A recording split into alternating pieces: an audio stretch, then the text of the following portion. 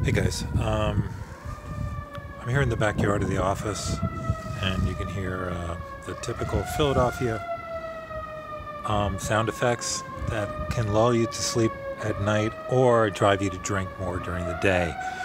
Anyway, um, or both. So what I'm what we're looking at right here is Indian grass. So this is from last year, and I cut it down probably around six to eight inches. Probably could cut it back a little bit more. It doesn't really matter too much.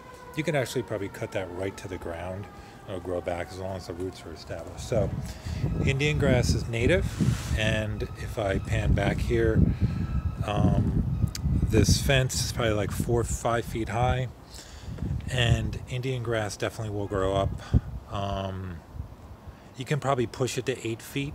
Definitely grows to six for sure and it's kind of um, um, prongs that come up. So it's not super bushy, but it's very very regal and, and confident, and it will come up multiples out up to again like five to eight feet, and very much like uh, Indian grass. So here, if you wanted to, you could you could string a whole bunch along your your property line if you wanted to do, or use them as um, kind of feature plants or end plants on the end of something.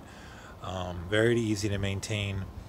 Um, really don't need any water. It's native to uh, Pennsylvania and most of the northeast of the, the, country and into the south. And then uh, one other thing over here, which kind of grew up when I when uh, we took over this space, is uh, snake root. That's what snake root is right there. Snake root also goes up around six feet um, and has very sort of what's considered insignificant, semi-prominent white beautiful white flowers that come up. And um, you can actually something to do the roots are definitely poisonous that's all I know. But it's a beautiful native uh, plant um, and Lincoln's mother died from it.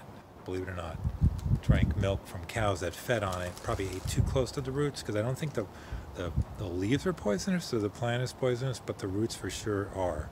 Um, you're not going to die per se I don't know how much Mrs. Lincoln drank um, not liquor, but uh, milk, and uh, she did theoretically pass away from it. So, anyway, um, two things you learned today is Indian grass and snake root. 267-670-0173 if you need landscaping in Philadelphia. Thanks for watching.